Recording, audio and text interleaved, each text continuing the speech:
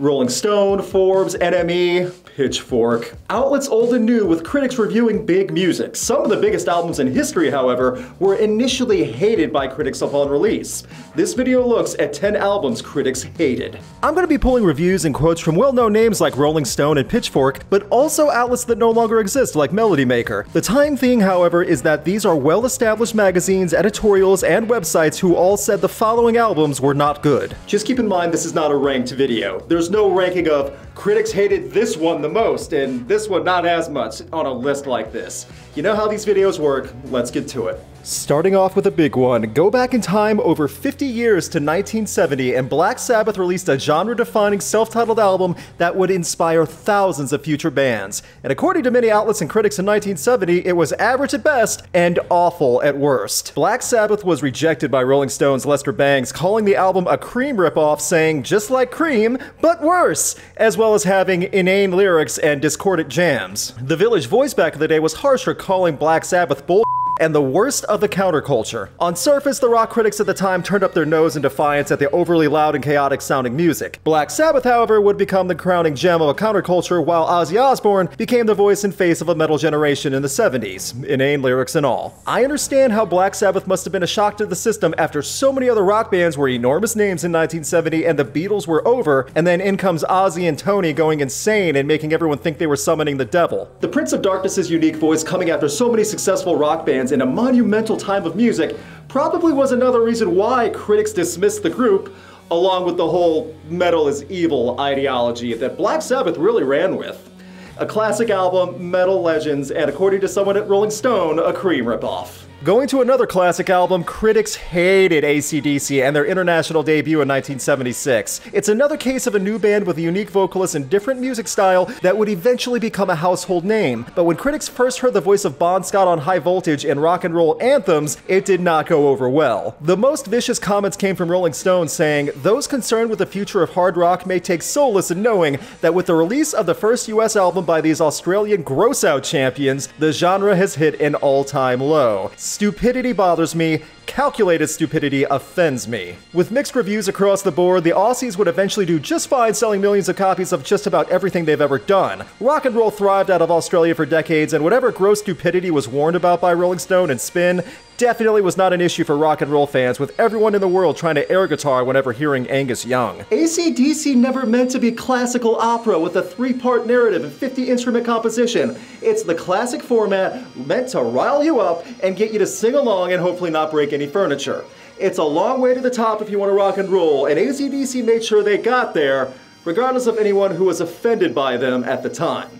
Really offended by ACDC? Come on. Fast forward to the 90s and the grunge revolution, Pearl Jam became one of the biggest bands in the world and had one of the best debut albums of all time with 10. Instant classics with several enormous singles that helped define a genre and the soundtrack of the early 90s, and not everyone was on board. Upon release, 10 had mixed reviews with NME saying that Pearl Jam were trying to steal money from young alternative kids' pockets, pretty much saying Pearl Jam were pandering to an audience and trying to manipulate youth out of their parents' cash. Along with that, Entertainment Weekly referred to the album as a carbon copy of works by other emerging grunge bands. The similar sounding bands argument isn't new and has been applied to many other bands and albums upon debuts for decades. So it happening to Pearl Jam is not crazy, but I'm not so sure about the accusation of Pearl Jam trying to capitalize on a trend or trick youth out of their money. Considering how Pearl Jam became a phenomenon and 10 would become a massive success, they technically took money out of everyone's pockets, however, and everyone willingly handed it over. 10 is beloved now across the board, and it's a staple of alternative and grunge lore, which still gets radio play today with the singles. Not bad for a band originally labeled as watered down Nirvana. Back in the late 70s, Queen could do no wrong for most people and earn their reputation as being one of the best bands in the world, except for a few critics who were not a fan of the 1978 album Jazz. With the popularity of Queen at the time and Freddie Mercury not caring who he offended with his behavior or attitude or just existence, Jazz did not go over well with everyone upon release. Rolling Stone in 1979 said that Jazz featured Queen as elitist, treating women like objects, and the first truly fascist rock band. The whole thing makes me wonder why anyone would indulge in these creeps and their polluting ideas. Not kind praise to the album or Queen. Creem also gave a rough review saying that Jazz was absurdly dull and filled with dumb ideas and imitative posturing. As time went on, Jazz would be much more highlighted as a Queen album in their most lighthearted era of music, and Rolling Stone would later retract respect the original review and revere jazz as a classic. Rolling Stone went from having Queen as an elitist, objectifying band to full praise of an album filled with some of the most recognizable Queen songs. All four members of Queen contributed to writing songs on jazz, and all four members of Queen did not care what critics thought. I understand this is not a deeply serious album, but the quality of Queen and music writing is still there.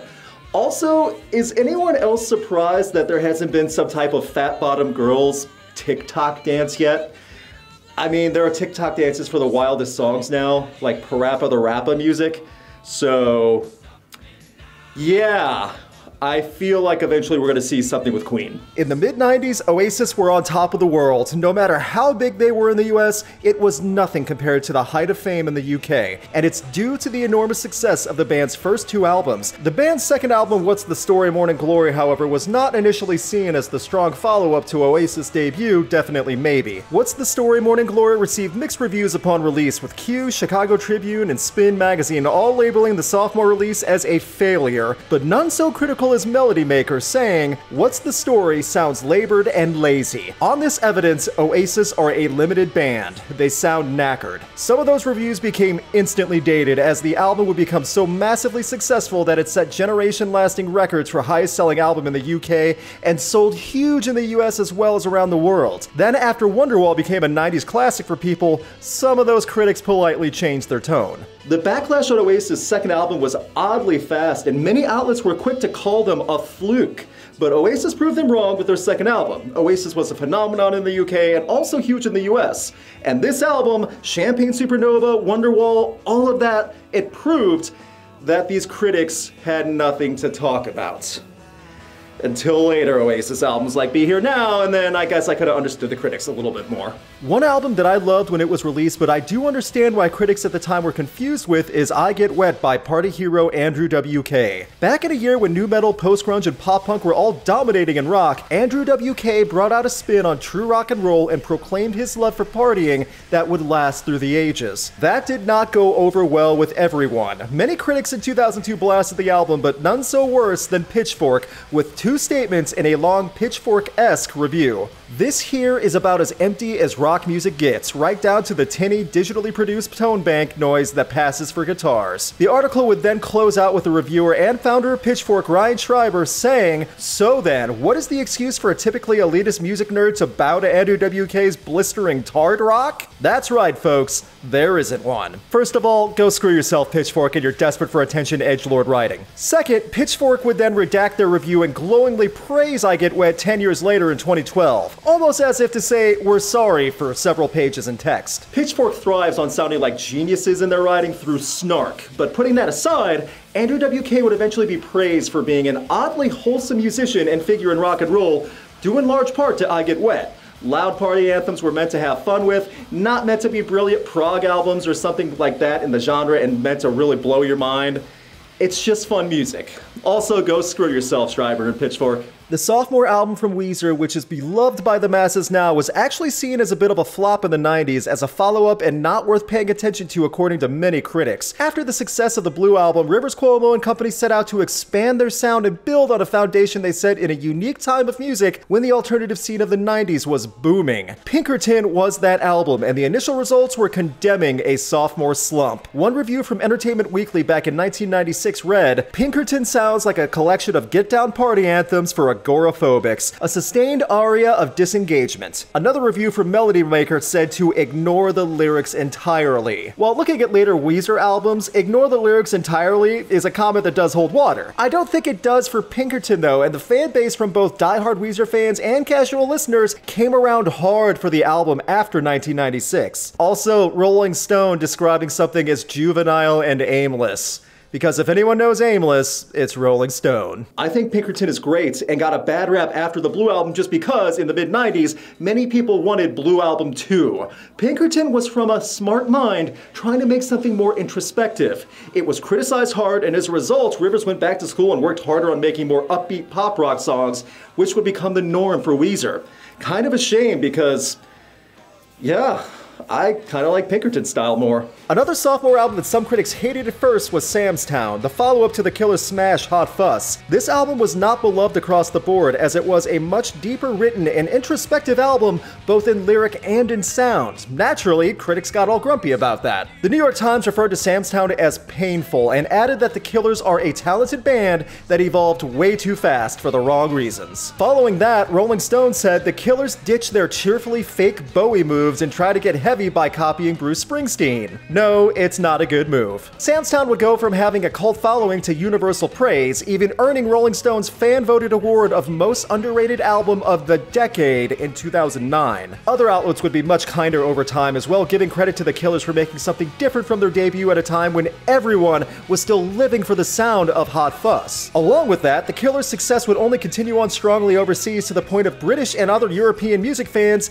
thinking the Killers were UK born. Nope. They're from Vegas. Calling the Killers fake David Bowie music and then turning around to call their follow up fake Bruce Springsteen music.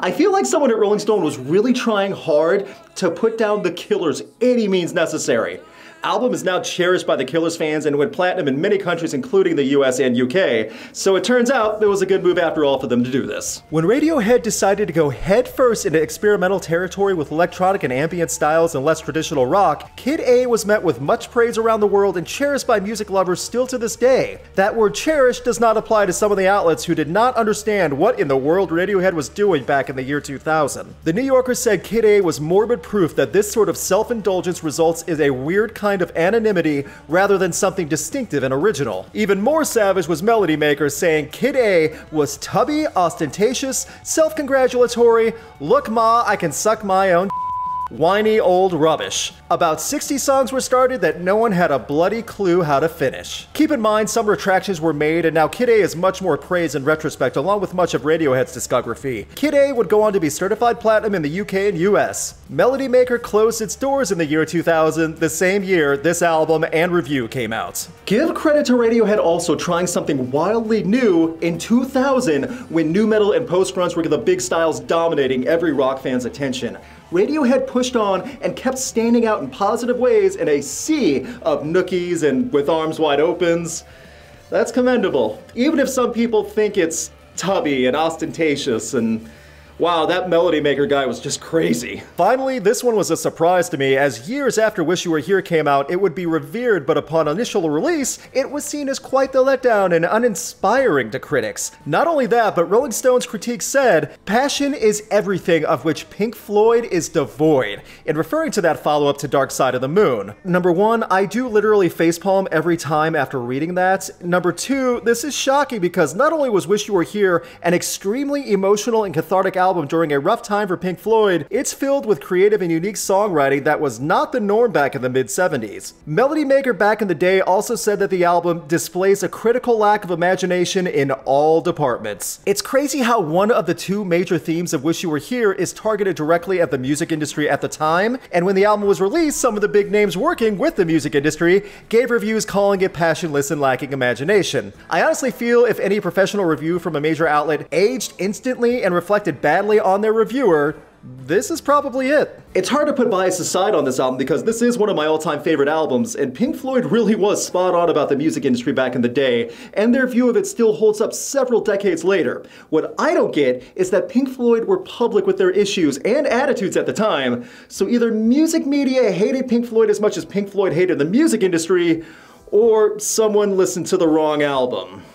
There's no other way. Know of another album that critics hated, or at least at first? Leave a comment and let everyone know. Big thanks to my patrons and a special thanks to Brandon Barenfeld, Chris Doman, and Dom Smith. You can have a say in upcoming videos and see videos early by supporting Rocked on Patreon. Please click on the link in the video description for more information on helping the channel. Please subscribe and ring the bell to get notified of upcoming videos, and you can keep up to date with Rocked on Instagram, TikTok, Facebook, and Twitter. Thank you guys again for watching. Just so you know, the last few longer list videos I've done on this channel have all been suggestions from fans and followers. Hey, I actually listen sometimes. I'm gonna be doing another album drops video again covering some of the bigger albums that were released this month, all voted on by my patrons, and then I'll be working on a video about songs that everyone gets the meaning of wrong. Let me know in the comments if you have any suggestions. Again, thanks for watching. Hope to see you next time.